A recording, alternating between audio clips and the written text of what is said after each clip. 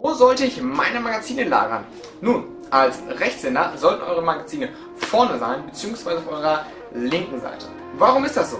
Ganz einfach. Wenn wir mit unserer Waffe hantieren, dann können wir mit unserer schwachen Hand nachladen und mit einer starken Hand weiter am Griff bleiben.